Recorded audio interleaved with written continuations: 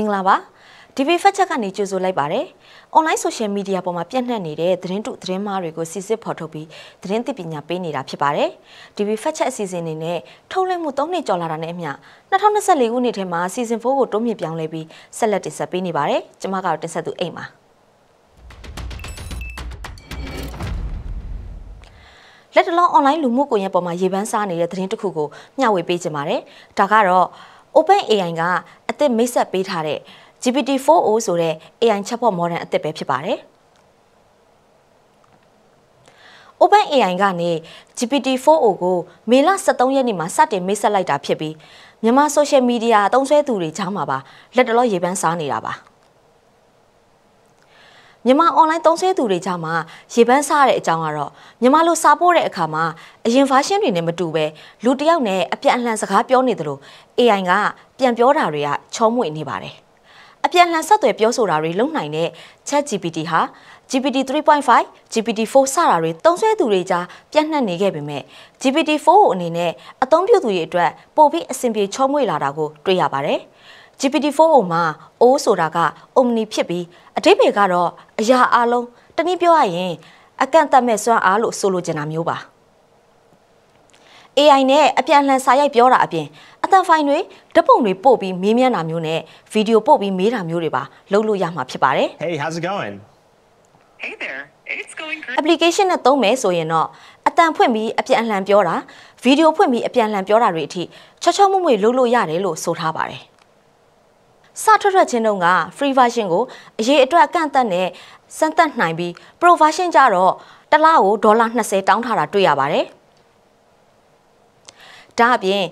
ChatGPT 4o ကဘာသာစကားပေါင်း90ကျော်အထိဆက်သွယ်ပြောဆိုနိုင်တယ်လို့ဆိုထားပါတယ်။ဒါပေမဲ့ ChatGPT ကိုအသုံးပြုမယ်ဆိုရင်လည်းသတိပြုရမယ့်အချက်တွေလည်းရှိနေပါတယ်။ DBB Fact Check ကစမ်းသပ်အသုံးပြုကြည့်တဲ့အခါမှာကိုသိလိုတာတွေကိုအချိန်နဲ့တပြေးညီရှာဖွေပေးနိုင်တယ်ဆိုပေမဲ့ သူပေးတဲ့အချက်လက်တွေကိုတရားရဂိုင်နှုန်းယုံကြည်စိတ်ချလို့တော့မရပါဘူး။ဥပမာကြော်ကြားတဲ့လူပုဂ္ဂိုလ်တွေအကြောင်းဆိုရင်အချက်လက်ကိုစုံစုံလင်လင်ဖော်ပြနိုင်ပေမဲ့တာမန်လူတဦးကသူ့နာမည်ကိုရိုက်ထည့်ပြီးမေးမယ်ဆိုရင်တော့အချက်လက်အမှားတွေကိုပေးတာတွေ့ရပါတယ်။ဒါအပြင်ပညာရေးဆိုင်ရာတွေမှာ GPT-4o ကိုသုံးမယ်ဆိုရင်သူပြောထားတဲ့အကြောင်းအရာတွေအမှန်တကယ်ဟုတ်မဟုတ်ကိုကိုယ်တိုင်ထပ်မံစမ်းစစ်ဖို့လိုအပ်ပါတယ်။ ဒါကြောင့် GPT သုံးတဲ့လူတွေကိုအသိပေးပြောကြားလိုတာကတော့ ChatGPT ဟာအချိန်ကုန်တက်တာပြီးပညာရေးအတွက်အထောက်အကူပြုသလိုလုပ်ငန်းခွင်တွေမှာအသုံးဝင်နိုင်တာမှန်ပေမဲ့ AI ချက်ဘော့ကပေးတဲ့အဖြေတိုင်းဟာတရားရဂိုင်းတော့မှန်နေတာတော့မဟုတ်ဘူးဆိုတာကိုသတိပြုကြဖို့အတိပေးပြောကြားလိုပါတယ်။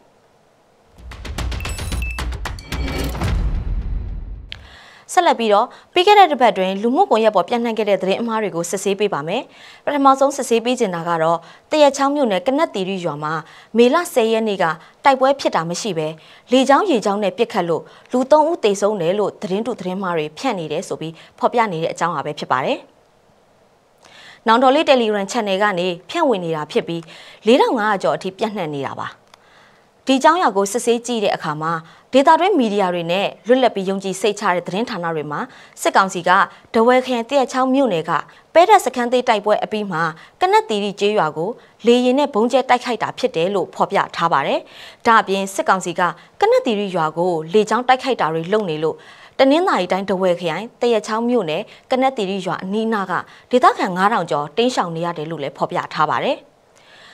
သတင်းဖော်ပြချက်ထဲမှာမေလ10ရက်နဲ့မေလ10ရက်နေ့တွေမှာလေကြောင်းနဲ့ဘုံကျဲတိုက်ခိုက်လို့မေလ10ရက်နေ့မှာဆယ်ကျော်သက်လူငယ်2ဦးနဲ့မေလ10ရက်နေ့မှာအသက်40ကျော်အရွယ်အမျိုးသား3ဦးတေဆုံးခဲ့တယ်လို့ဒေသခံပြည်သူတွေကိုမေးမြန်းပြီးဖော်ပြထားပါတယ်။ဒါကြောင့်စစ်ကောင်စီဘက်ကတနင်္သာရီတိုင်းတရက်ချောင်းမြို့နယ်ကနက်တီရီရွာကိုလေကြောင်းရေကြောင်းနဲ့တိုက်ခိုက်တာတွေမလုပ်ဘူးလို့ညင်းဆိုနေတာဟာသတင်းအမှားပဲဖြစ်ပါတယ်။ လက်တလုံးမှာစစ်ကောင်စီဟာစစ်ရေးအရရှုံးနိမ့်တာတွေရှိလာတိုင်းလေချောင်းကိုအလွန်အကျွံအုံပြုတ်တိုက်ခိုက်တာတွေပြည်သူတွေကိုပြစ်မှတ်ထားလေရင်နဲ့ဘုံကျဲတာတွေမကြာခဏဆိုသလိုပြုတ်လုပ်လေးရှိပါတယ်။ဒါပေမဲ့စစ်ကောင်စီရဲ့လေချောင်းတိုက်ခိုက်တာတွေကိုသတင်းဌာနတွေကဖော်ပြတဲ့အခါမျိုးတွေမှာလည်းမှားယွင်းတယ်လို့မကြာခဏဆိုသလိုစစ်ကောင်စီထောက်ခံသူ online channel တွေမှာတံပြန်ဝါဒဖြန့်ရေးသားနေတာဖြစ်ပါတယ်။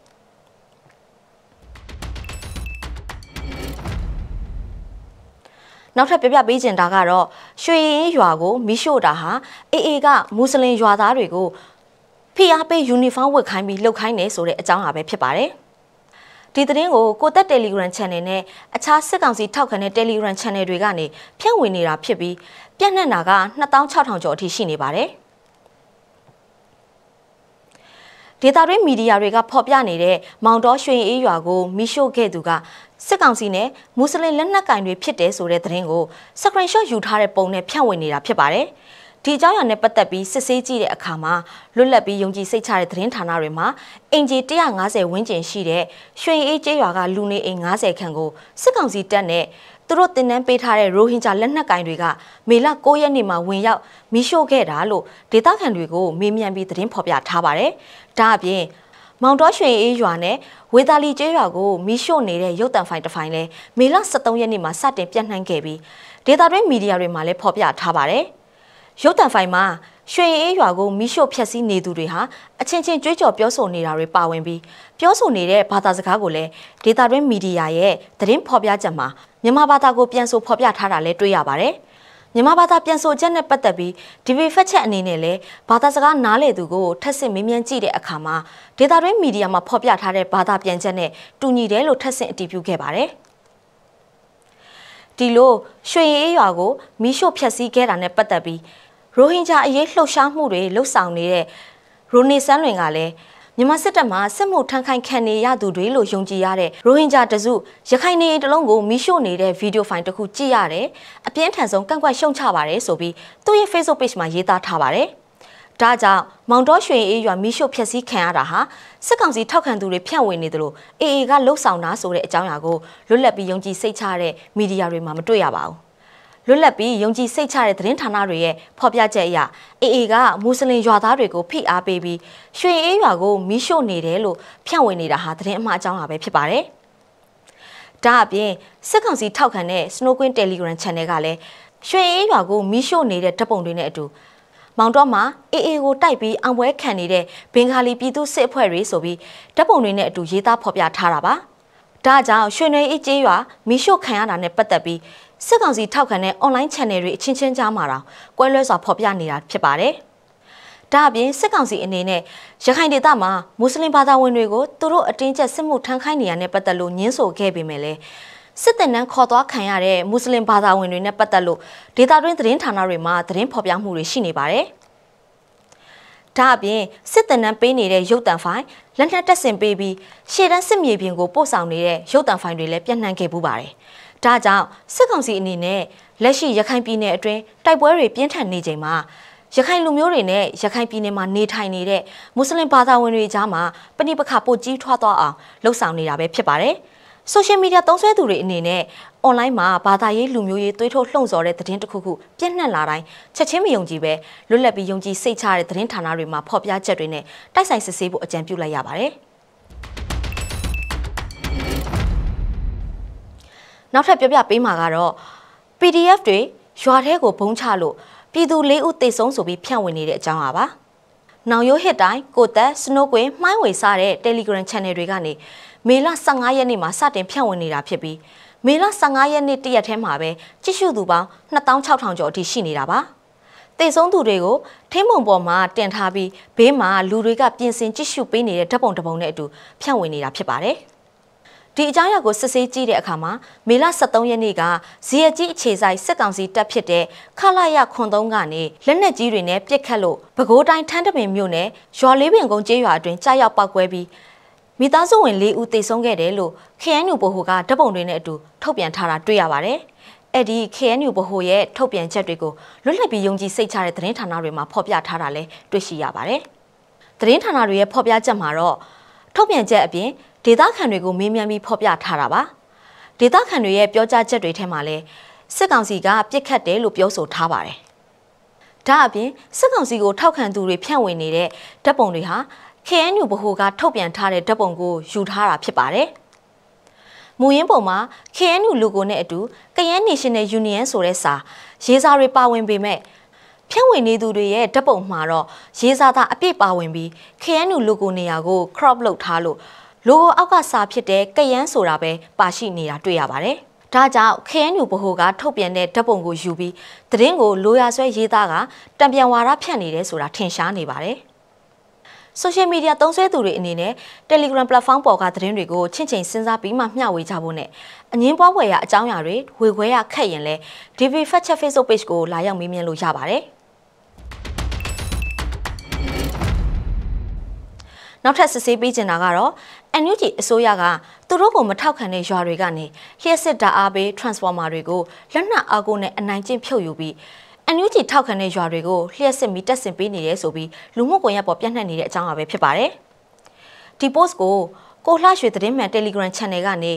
မေလ16ရက်နေ့ကဖြန့်ဝေနေတာဖြစ်ပြီးပြန့်နှံ့မှုပေါင်း1500ကျော်အထိရှိနေပါတယ်။ဒီကိစ္စနဲ့ပတ်သက်ပြီးအချက်လက်စစ်ဆေးကြည့်တဲ့အခါမှာ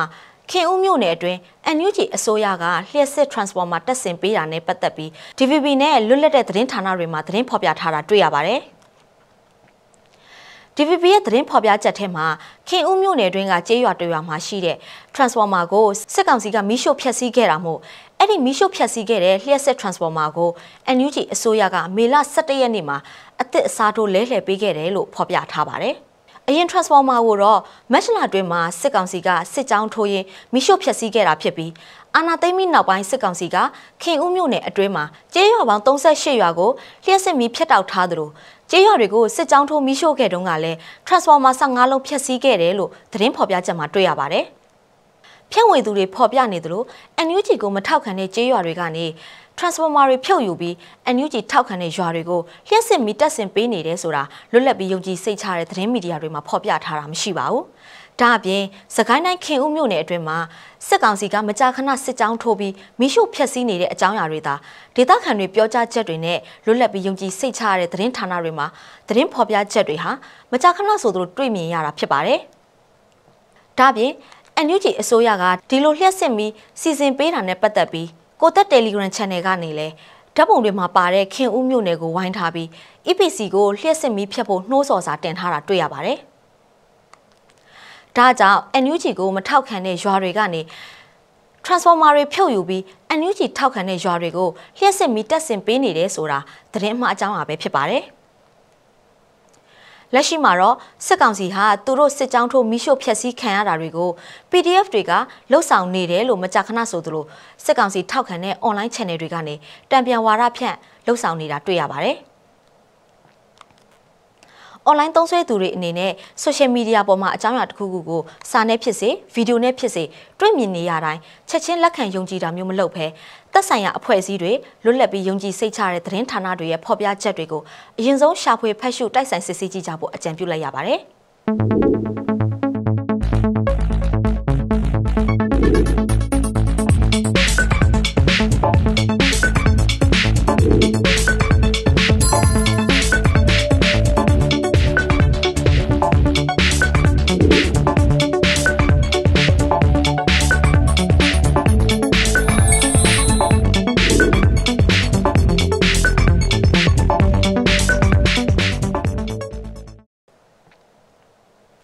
နေ့စဉ်နဲ့အများပြောင်းလဲနေတဲ့ခေတ်ရည်စည်းထဲမှာအွန်လိုင်းသုံးစွဲသူတွေအနေနဲ့တဆင့်စကားနဲ့ကြားရတဲ့သတင်းတွေအင်တာနက်ပေါ်ကတွေ့ရတဲ့သတင်းတွေကိုမှန်လားမှားလားဆိုတာကိုယ်တိုင်စဉ်းစားဆုံးဖြတ်ကြမယ့်အချိန်ဖြစ်ပါတယ်။ကြားနေရမြင်နေရတဲ့သတင်းတွေကိုအမှန်မှားခွဲခြားရခက်နေရင်လည်း DB Fact Check Facebook Page ကိုဆက်သွယ်မေးမြန်းနိုင်ပါတယ်။အားလုံးပဲ online တက်ရင် fact check ကြပါလို့သတင်းစကားပါရင်းနဲ့ DB Fact Check အစီအစဉ်ကိုထပ်မံတင်ဆက်ပေးသွားပါဦးမယ်။